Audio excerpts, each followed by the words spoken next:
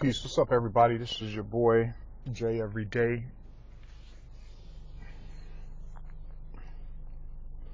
And this post is going to be um, what I'm going to call low hanging fruit. And the reason why it's called low hanging fruit is because it's something simple and it's easy to create a um, narrative about it. But I'm gonna tell you about the mind fuck behind it. Okay.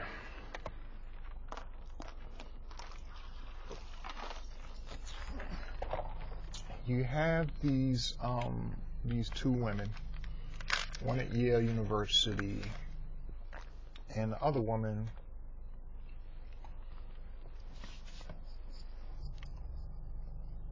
at a park who proceeded to call the cops on two people who were both black and um, one person at Yale, it was person was asleep in the commons room. And the other issue was um, the person was barbecuing at a park. Now, here's the funny part about both of those.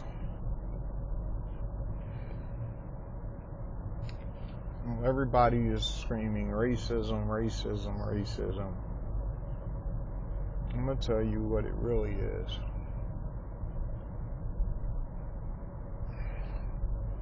I think it's more, might have a tinge of, you know, bigotry in it. But let me let me ask you a fact. Let me ask you something about both of these women. Or let me point out an observation, not ask anything. Both of these women were fat, out of shape, probably single, and they were miserable fucking people. And one of the great statements of all time is misery loves company. Because if you ever notice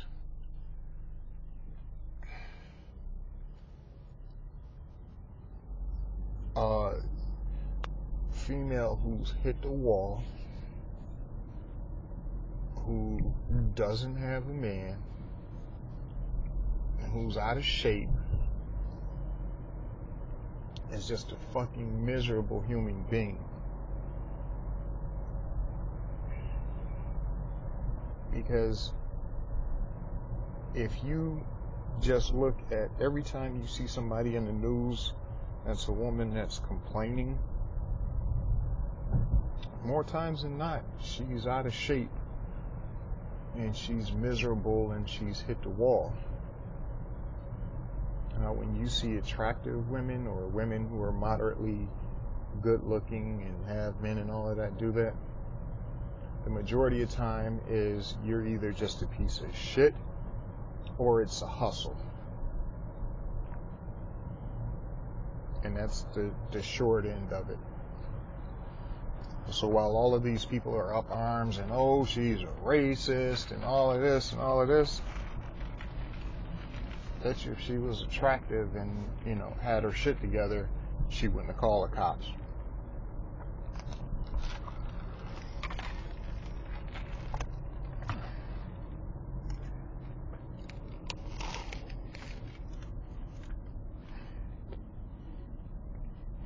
Oh, and let's talk about the same thing about the woman in San Francisco.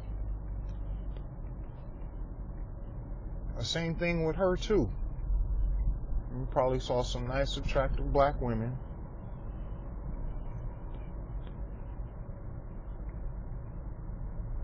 And you might have just decided to call the fucking cops on them. But here's why I'll give the woman in San Francisco a pass. In my neighborhood, some black people I ain't never seen before, even if it was some white people I've never seen before. If I've seen you leaving out of a neighbor's house that I don't know, I might call the cops. that doesn't necessarily mean that it can be something illegal. And let me even take it a step further. This shit about, um, this happened a while ago. This shit with Henry Gates. And he was breaking into his own house. I don't blame the cop for arresting his ass for a couple of reasons. Let me give them to you. How is that cop supposed to know that you're not, you and your wife aren't separated and you might be breaking in the house to do something fucked up? Number two, how am I supposed to know as a cop what the fuck you got going on with your house? So guess what? I'm gonna arrest your punk ass too for breaking into a house. Cause I don't know, cause guess what? Say I don't know you're Henry Gates. Say you break into a house. Or say you're in the house hiding out, waiting for your wife to come home and you blow her fucking brains out.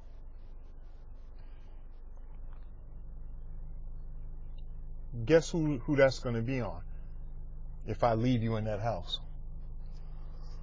So I just wanted to get that point out there real quick. But getting back to these uh, to these women, these sloppy ass women who's calling the cops on people.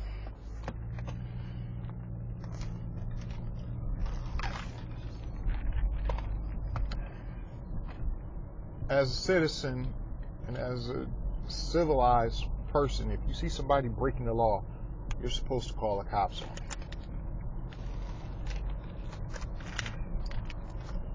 That's not snitching. That's doing your fucking civic duty.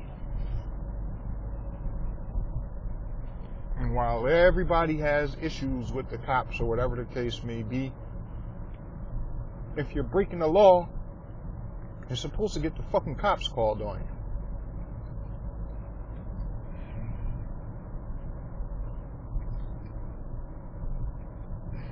Now, if you're not breaking the law and somebody calls the cops on you,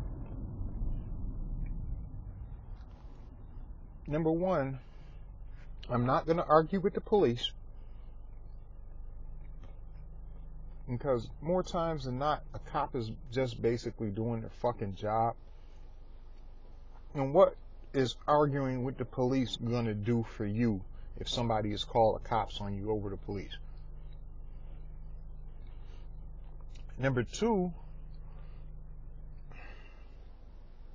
I'm going to keep my calm and ask the cop, well, who called the cops?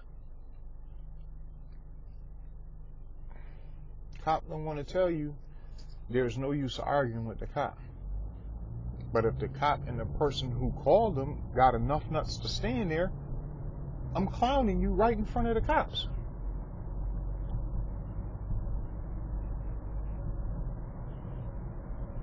See, this lady is so, the lady who got the cops called on her was so up in arms and was racism, racism, racism.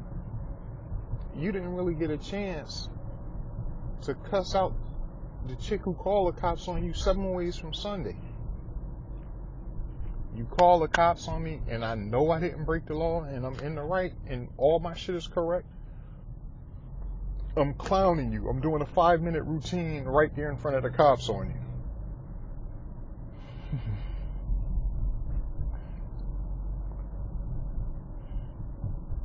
and see, before everybody always is quick to say some shit, about, oh, the cop shouldn't have did this, the cop shouldn't have did this.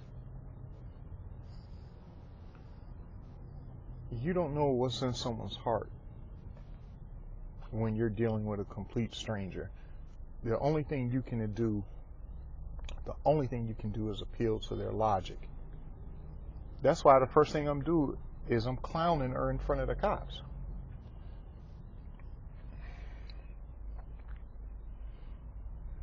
See, most people don't like that shit, and most people want to just racism, racism, racism, racism.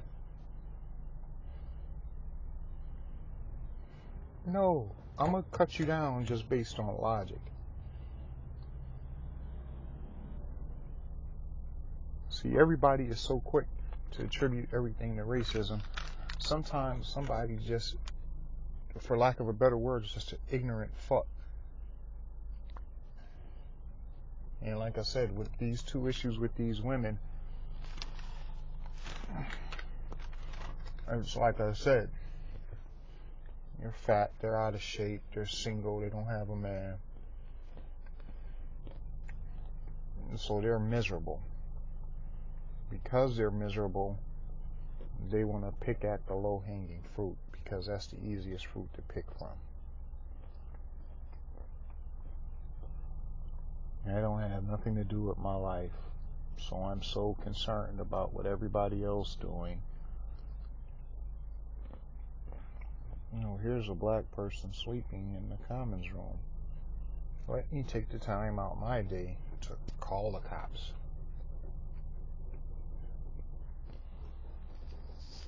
I wish it would have been me. I would have did a whole routine on the cops. I would have had the cops dying laughing.